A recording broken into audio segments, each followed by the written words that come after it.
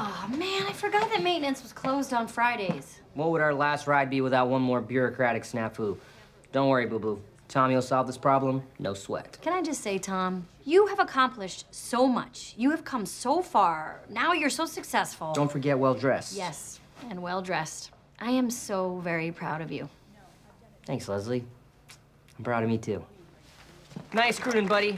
Uh, the gentleman by the bar there sent you over this glass of wine and his business card. Okay, so, as you all know, Tom's Bistro has been presented with a huge expansion opportunity. I don't want to make a decision until I hear from my senior advisory board. So, is this a good idea? Accounting nerd. I'm a congressman, Tom. Can you at least call me Ben? No can do, accounting nerd. We all knew you before you were a big shot. Let's keep the whining to a minimum. Well, there are always going to be risks when you open new restaurants, but you've done your homework. All the numbers line up.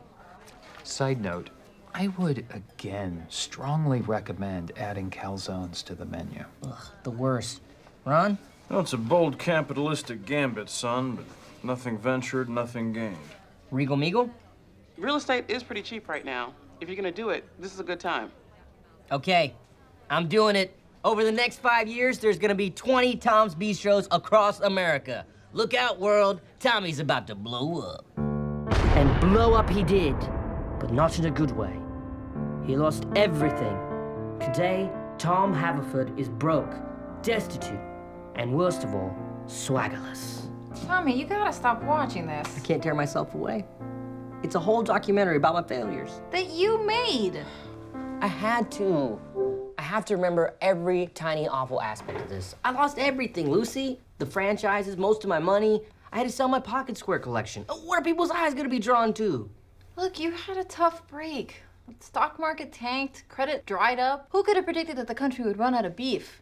You just gotta move on. That's the problem, though. I've gone bust in the past, but it was because I did something reckless. This time, I was smart and careful, and I still went broke. What do I do now? Well, you and I are gonna be fine, and you'll come up with a new idea. You always do. I once started an entertainment company. It failed in four months. I opened a clothing rental store. I built a restaurant empire. They all failed. But the story of America isn't about second or third chances. It's about fourth, fifth, sixth, twentieth, fiftieth chances. That's how long it took me to get where I am today. Best selling author of Failure, an American success story.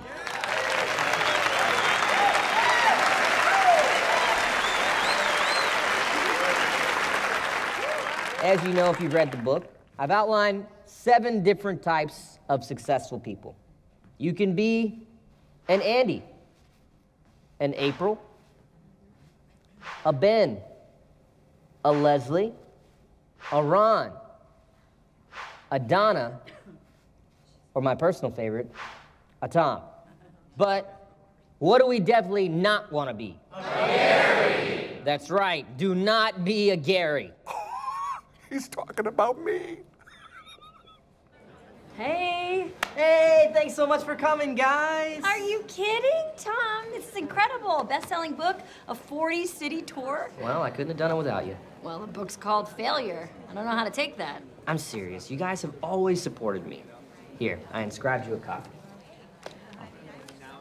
When I think of success, I think of you. You are a true inspiration to me. I love you. Tom Haverford. Oh, sorry, that's actually for Kendrick Lamar. Here's yours. Best wishes. I mean every word of it.